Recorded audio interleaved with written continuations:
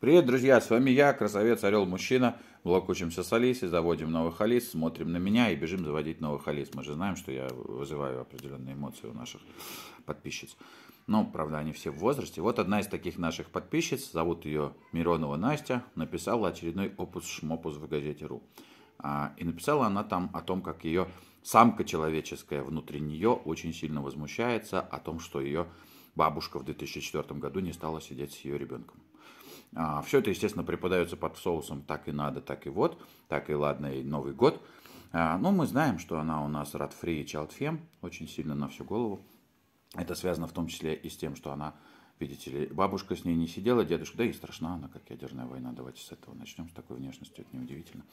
А если что, это мое личное мнение. Я вот как мужчина считаю, что Миронова это абзац полный. А, вот. Но продолжая наш разговор с вами, вот большинство женщин, которые Радфем Чалтфри, они действительно абзац полный во всех смыслах. Либо с головой куку, -ку, либо с ногами, либо с ушами, либо с внешностью, либо с тем и с другим, что чаще. А, возмущается. Даже ссылается на паблики, которые прям сама газета РУ отмечает э, пометочкой, что это вообще-то Радфри Чалтфем паблик, который прекратил свою работу. И рассказывает всем о том, как все ей обязаны, как рожать женщины прекратили, не хотят, и ведет Радфри Чалферм пропаганду. Государственная дума, пора бы посадить госпожу Миронову, и пусть она посидит и подумает о своем поведении, и поухаживает за чужими детьми. Вот, например, за нашими можно поухаживать. Можно еще за чьими-нибудь поухаживать. И Мироновой полезно.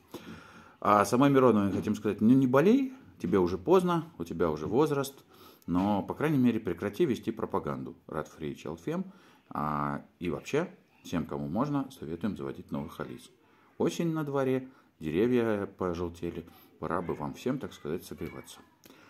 А, учиться побольше еще необходимо. А вот что. И вузы заканчивать. Всем привет.